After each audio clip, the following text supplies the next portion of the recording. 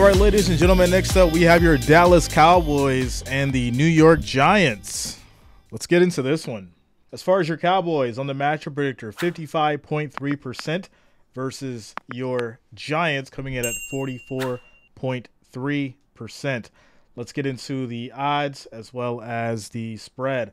Uh, odds we've got Dallas favored at three and a half. 46 and a half is your over and under. Next, let's go ahead and get into the depth charts.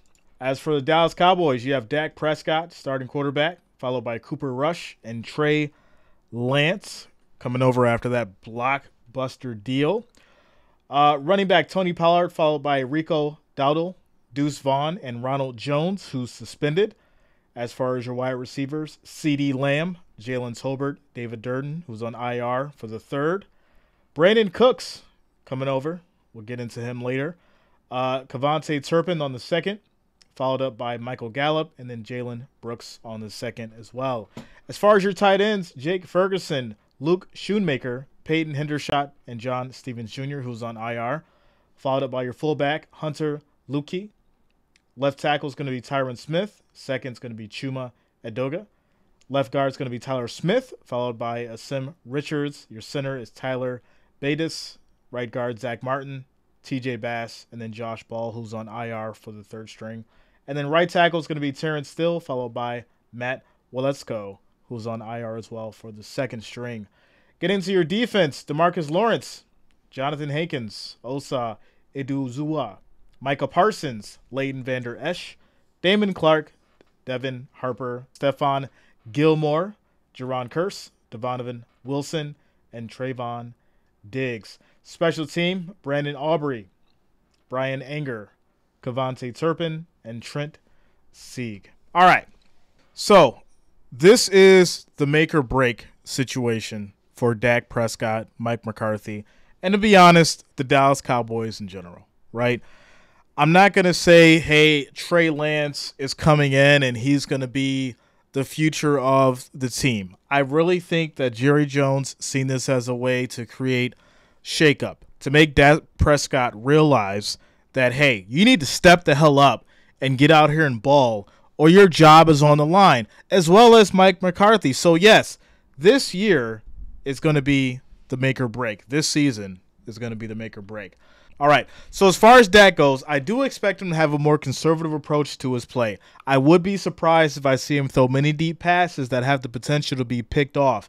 Now, the reason why I say that is if you looked at the preseason camp and everything like that, I know it's kind of difficult to utilize as a sample, but he didn't look too good in the deep pass, and he got picked off multiple times by Trevon, and it looked sad. So I definitely see him going with the more shorter pass approach taking his time if he can back there. And uh, I don't see him using the deep ball as much. Now, that's not to say that it's not going to be there at all, but I feel like he's going to have a more conservative approach to protect himself from being picked off. We'll see how that plays into it. Um, obviously, Tony Pollard, I think he's going to have another breakout year. Last season, he had 193 carries on 1,007 yards. He averaged 5.2 a carry. Uh, Lamb following up on his last season as well. He had 1,359 yards, nine touchdowns, and 107 receptions. This year, you guys got Brandin Cooks coming over, and I feel like people have been sleeping on Brandin Cooks. They're acting like he hasn't balled out on every team that he's been on, from the Saints to the Patriots, the Rams, the Texans. I mean, the man can ball. He's going to get his yards. He's great on the 50 50. He's great on the deep ball. He runs great routes. So I would be excited to have Brandin Cooks on my squad if I was a Dallas fan right now because I think he adds to that Gallup, adds to that CeeDee Lamb uh, combination, and basically gives Dak Prescott another option as far as someone to throw to. Um, Michael Gallup's going to be coming off obviously a slow season, which I don't really expect it to change as far as his production goes, but he should be targeted on average about 10 yards per catch. Dalton Schultz is unfortunately gone, so I don't think we're going to see the same kind of production at tight end that Dallas is used to. But Jake Ferguson did show some promise last year and in the preseason, so I'm excited to see what he does in the mix. And as far as your defense, you got your usual suspects Demarcus Lawrence, Jonathan Hankins, Micah Parsons, Leighton Vander Esch, Stephon Gilmore, who to me is always going to be a Bills player, uh, Jayron Kearse, and then Trevon Diggs. So yeah, I mean, I expect the Dallas defense to always do what they do. They've been strong. They have the solid core defense that they need. And at the end of the day, I don't really see much uh, coming in between them and and their goal and their objective is to be great, which is what they've been doing. Whether or not the Cowboys offense gets everything on board is what basically plays the major part in them winning this game. And I'll tell you this, them winning week 1 is going to be very important in the locker room for not only for morale for the fans and the team in general, but for Dak Prescott. He needs this win probably more than anybody else on that field. So now let's go ahead and get into these Giants. Uh, Daniel Jones, He's on his fifth year, just signed his new contract. We're coming off his best year, where he had 317 completions on 472 attempts, 3,205 yards, 15 touchdowns, five interceptions. But he did take 44 sacks, which hurt his QBR, uh, where he ended at 62.9. Um, Saquon Barkley, after talks fighting over his contract, he ended up bending the knee in response to the running back pay struggles and all that kind of situ- stuff. You know what happened there. You know what happened. Um, but I do expect him to be great as long as you know he stays healthy, which is one of the biggest problems that he's had. Right? He wanted all that money, he didn't get it. So guess what? If he goes out there and he gets injured again, it's going to be an aha moment for the GM and the staff and everybody when it comes to his contract. Uh, but obviously, we're hoping that he doesn't get injured and he stays healthy. I want to see him go out there and win and uh, take care of business for the Giants. As far as your wide receiver front, you got Hodgins, Slayton, and Campbell, who are all great route runners as long as Daniel can accurately get them the ball. Sterling Shepard's going to be taking the back seat as a vet, longtime Giant, but I'm sure he'll see some reps at some point. Uh, Darren Waller's coming over at tight end from the Raiders.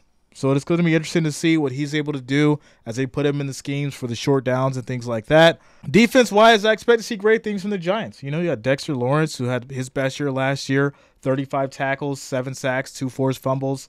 Uh, Kayvon Thibodeaux, who'll have to work through the Dallas O line, but last year he showed promise with his 33 tackles, four sacks, two forced fumbles, and two fumble returns as well as Micah McFadden, Azeez Ojulari, your safeties to cover the deep ball, Jason Pinnock and Xavier McKinney. So at the same time, the Giants have a decent defense. Is it better than the Dallas defense? Hell no, without a doubt. But it's just enough to cause some issues as far as with the deep ball and in the middle for Dak Prescott. So that's also going to be something that he has to work through. It's not going to be easy, but Dak Prescott should be able to work through these things, being the veteran quarterback that he is, and that we expect him to be. Uh, so, wrapping things up, Dallas and especially Dak Prescott has the most to lose starting off in week one, so I see a strong game plan for them to come out smart and conservative, using the run and short passes to get Dak and company going. The Dallas defense is a household name, and I think will be enough to stop Saquon on the run and disrupt Jones' ability to scramble will leave him trying to figure out his passing lanes where he will have trouble.